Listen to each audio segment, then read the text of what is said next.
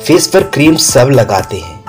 लेकिन फेस पर क्रीम लगाने से पहले यदि आप इस चीज़ को अपने फेस पर लगा लेते हैं, फिर इसके बाद आप क्रीम अपने फेस पर लगाते हैं तो आपका फेस ब्यूटीफुल नहीं, डबल ब्यूटीफुल दिखेगा। लेकिन उस चीज़ को आपको जानना बेहद ज़रूरी है कि आखिर आपको अपने फेस पर लगाना क्या है। सब कुछ बताऊँगा, वीडियो ज़रूर पूरा देखना, नहीं तो फिर आप बहुत कुछ मिस कर जाएँगे।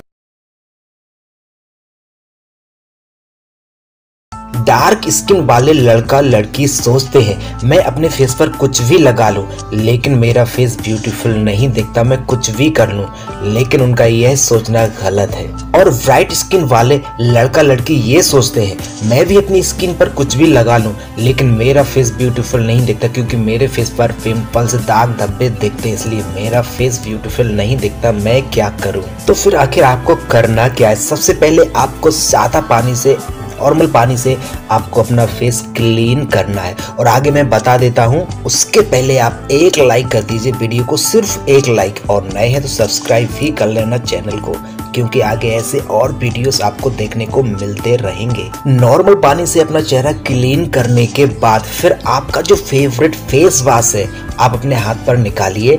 और जितना आपने फेस वॉश निकाला है, उतनी ही मात्रा में आपको एलोवेरा जेल निकालनी है। अब आप सोच रहे होंगे, ये तो मुझे पता है, लेकिन आगे आप बहुत कुछ मिस करने वाले हैं। बहुत ही अच्छी रेमेडी मैं आपको आगे बताने वाला हूँ। जितना आपने फेस वॉश निकाला है, उतना ही आपको एलोवेरा जेल लेनी है।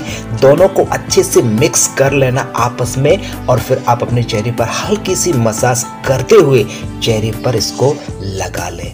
और लगाने के एक मिनट बाद ही आपको नॉर्मल पानी से अपना चेहरा धो लेना है क्लीन कर लेना है। फिर फ्रेंड्स आपकी स्किन फेस की जब सूख जाए, फिर इसके बाद अब आपको क्या करना है, ये बहुत ही ज़्यादा इंपॉर्टेंट है, इसको तो ध्यान से सुनते रहना।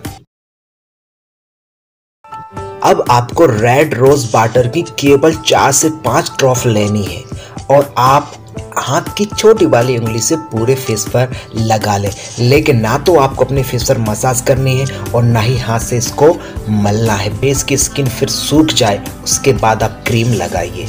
मेरा यकीन करना, आपका फेस डबल ब्यूटीफुल दिखेगा। आप आज ऐसा करके देख लो, आपको यकीन हो जाएगा।